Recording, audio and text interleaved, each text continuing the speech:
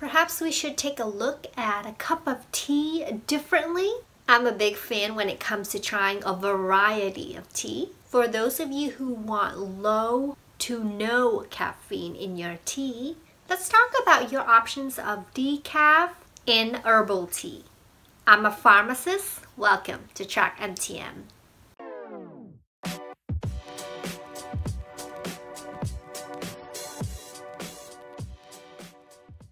Now don't be fooled by the word decaf. In any type of beverage, when it say decaf, usually it contains low levels of caffeine. Doesn't mean there's none. So if I want to enjoy a cup of decaf tea, would I still get all the benefits that a tea has to offer? The short answer is no. Unfortunately, during the decaffeinating process, some antioxidants are actually removed. The content wouldn't be exactly the same, and there might be other chemicals and additives that are involved. And I noticed that drinking a lot of tea on a regular basis, decaf tea don't taste the same as normal tea. I mean, it's not awful, but your taste buds can definitely tell a difference between decaf tea and regular tea. On the other hand, herbal teas are generally scented or infused with like flowers or fruit or have multiple blends of everything. Some examples of herbal tea include mint, rooibos, chai, chamomile, that's very popular, and many more.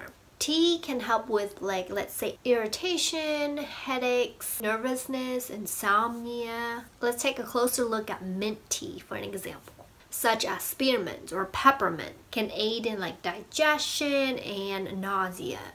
For me personally, I don't like mint tea because it, the smell can be very strong for me and I don't like that compared to other tea. Peppermint though particularly, it can help with like headache associated with cramps and breathing problems because it can open your sinus.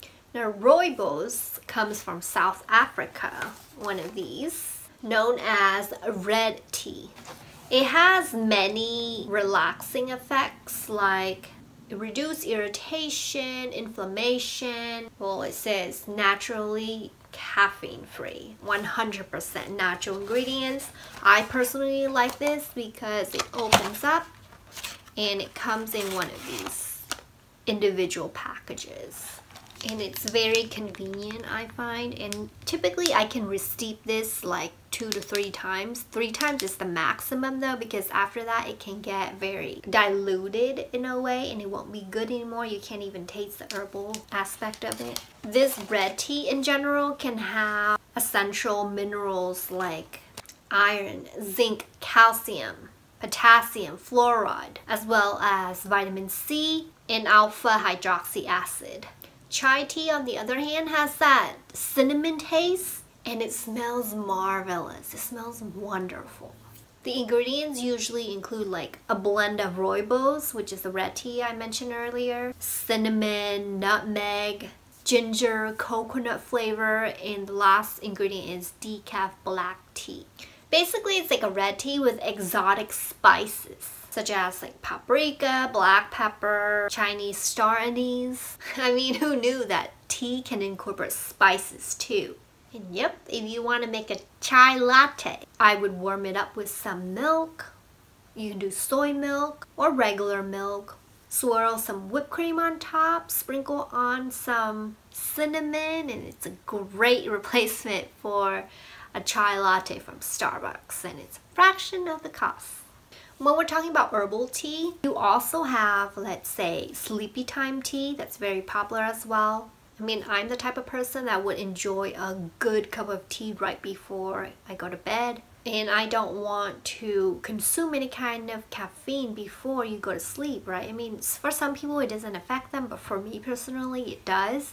So herbal tea is a great, great solution for this.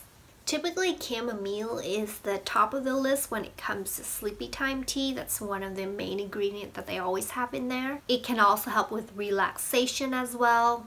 Chamomile belongs in the daisy family and has like anti-inflammatory, antibacterial properties as well. And here's also another tip. I typically don't drink caffeinated tea or products in the late afternoon.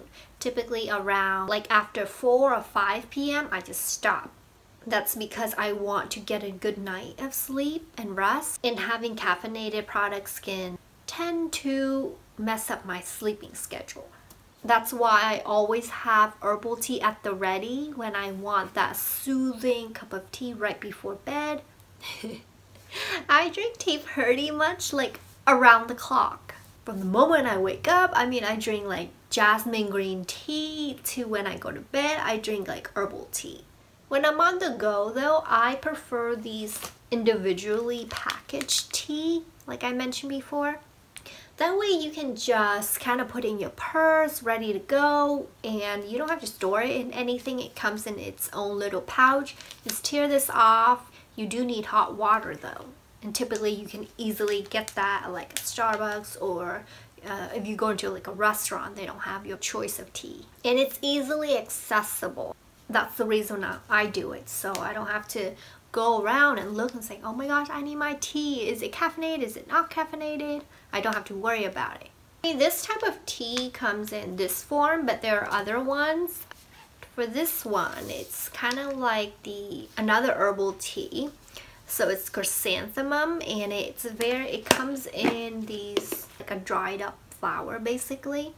And for these um, type of product, I tend to just drink it at home just because it's more convenient that way. I don't have to carry it anywhere with me. Yes, tea is great. It's fat-free, gluten-free, and low in calories. Nothing can beat that. You have so many options to consider when it comes to drinking tea. And a lot of times when people tell me, oh, I don't want caffeine in my beverage, that's okay, opt for an herbal tea. And you can kind of like assemble your own kit, make it personalized, and cater to your own taste. You can even make it in like a, a gift basket. I mean, I've given away like tea as presents before and people tend to really enjoy that. And it's never too late to get started. I'm ready for another cup of tea. so I'm probably gonna get some more after this video. Alrighty, thank you so much for watching. Please subscribe and thumbs up so I know to continue this series for you. Bye bye for now.